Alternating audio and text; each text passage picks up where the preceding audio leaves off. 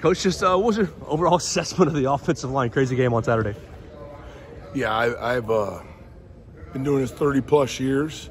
Have never have never seen or had that many penalties in a game. So it was uh, obviously it, it was uh, cost us the chance to really get that game going in a great direction early and kind of setting a tone and and you know when you get in those games and you you waste opportunities for explosives. I think three, I know for sure in three of the penalties we had two touchdowns and explosives, so that's 21 points. You know, you think you put those points on the board in the first half, it's a whole different story. So, yeah, it was obviously disappointing. What was your message to uh, Wilkin after that difficult game?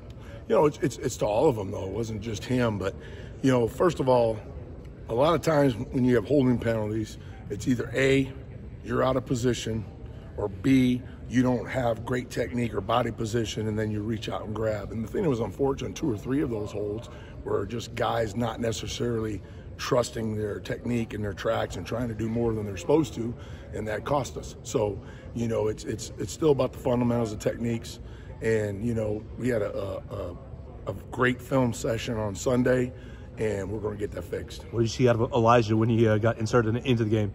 You know, he did a great job, you know, and it was a small sample size, and, you know, he was kind of beat up throughout the week. So, you know, for me, it's like wanted to pull the trigger earlier, but, you know, just being in and out all week and not being 100% sometimes leaves a little doubt in my mind. But I thought when he did go out there, he did a tremendous job. And from him and Proctor, just in terms of the, how they look in practice this week?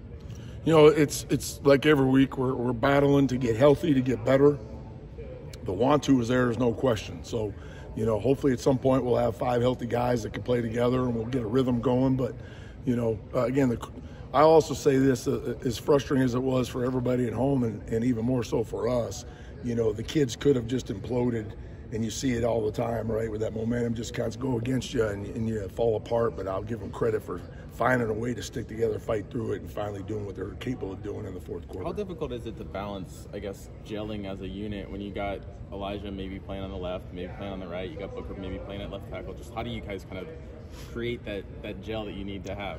Well, it's, you know, you, you try to cross train guys throughout the summer and fall camp so they're able to play those positions it's obvious when you when you look at teams that have a lot of success. It's amazing how many reps the starters play together, right? So that's that's not like a surprise to anyone. It's obviously better when you can have five guys, or maybe you're rotating two guys. It's always the same rhythm playing together. But there's no excuses. Like that's why we practice. That's what we got to get done, no matter who's out there. How have you seen the, the group bounce back this week in practice? I think they got the message, and uh, I think that you know it hurts them more than anybody else. They got great pride in what they do and they want to do the right thing and they want to do the job. None of none of those issues in the game were because they didn't want to and because they were lazy. You know, they give great effort. It's just we have to get better technically and understand what we're doing. So I feel like we have had a good week. How have y'all prepared for uh, the difficult crowd noise in Wisconsin? Yeah, you know, it's it's obviously when you play in the SEC, that's anytime you go on the road is the expectation. So, you know, it's just like everything else. We got plenty of noise out there and and you know you work through it the communications and all things we got to do and be prepared when you get there. From an offensive perspective how much disruption can tim keenan cause a, you know an opposing offense and just with his pass rushing? Yeah you know tim's a very good player. It's not just a pass rush too it's in the run game. He's he's a he's a, a physical guy that can really can hold the gap and be explosive you know it's always it's it, there's when you're looking at d tackles and noses throughout football there's not a lot of them that are great pass rushers, and when you can find one or two that can do both, it, it does put a lot of stress on you. For guys who are moving around positions on the line, is it more difficult to go from like guard to tackle or switch positions, or is it more difficult to switch sides? Oh, for sure, switching positions. You know, it, it's a, uh, you know, left to right, right to left. You should always be able to do that. We work on that all the time, so that shouldn't be a huge issue. But switching positions, that that's a whole other playbook, right? So you still should know you have an you know what the offense is, but there's different techniques involved, there's different calls involved, there's different things you react to. So definitely switching positions can be difficult. For Booker to go to left tackle, never playing that in a game, and do it in one week's preparation, even though he got reps at it over the spring, I thought was a, he did an amazing job. Can you speak more about Tyler Booker and just what he's brought to the offensive line? I mean, thank God he's here. You know, he's he's. Uh, it starts with just kind of the human he is, and then the leadership, the drive. The thing about it is, you don't always have guys in your room that are like that. And I always tell these guys, success leaves clues. So you look at this guy, how he trains, how he works. Like, there's no excuse for anybody in a room to not understand what it takes. So it's huge to have that. And just the versatility he has. He, he can play all five spots on the line, and he creates great leadership. He will challenge them when they need to be challenged, and he's usually on point, and, and they respect him because they know who he is and what he's about. Does he remind you of any former player that you've had, or is he a unique case? There, there's only been a couple in all my years that have probably been as good a player and as good a leader as he is. You know, you have I've had some really good players, a little more quiet, and you've had some guys that maybe weren't quite as good a players in, but were really good leaders. He's kind of the whole package. I hope he doesn't read this because I still got to coach him for the rest of the season. But you know, and I still stay on him, and that's the thing about him. He wants you to challenge him, so he, he's a, he's just a special kid. In your experience, him kicking out to left tackle, like how impressive was that? It's really impressive. There's there's not a lot of guards or interior guys that can do that, right? And then to do it in a short week and be ready to go and still be able to play guard, and you know, it's just it's it's impressive. He did a great job, man. It was a it was huge to have that. You know, we were pretty thin, and so for him to be able to step up and do it, it was it was big for us.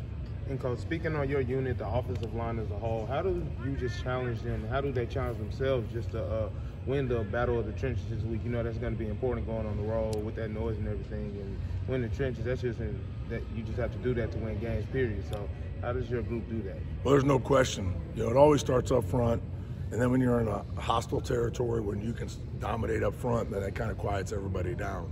And you know, it it's not like they, they're going to work harder or something this week. It's the standard we have, right?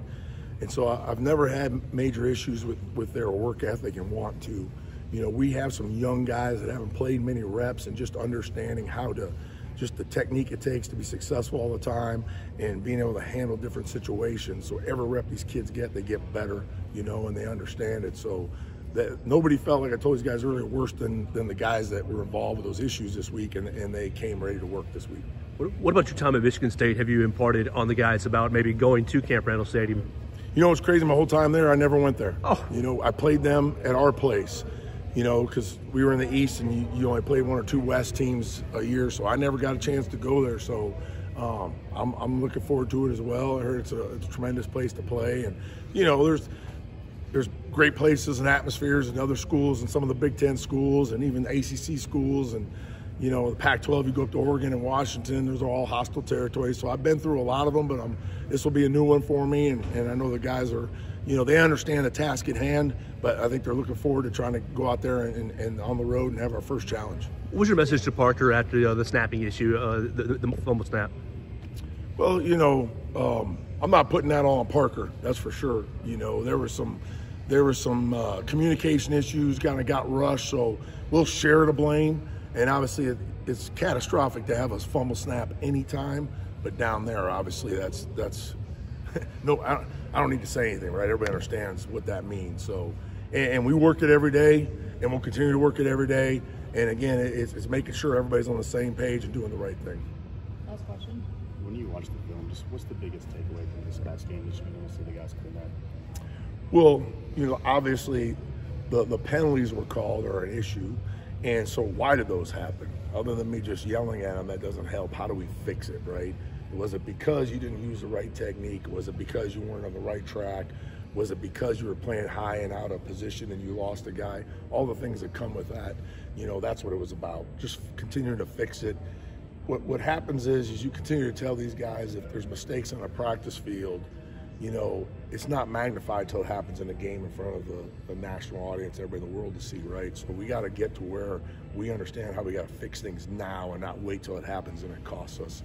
And so that was a pretty good slap in the face for us right there to get it going. Thank you. Thanks, Coach.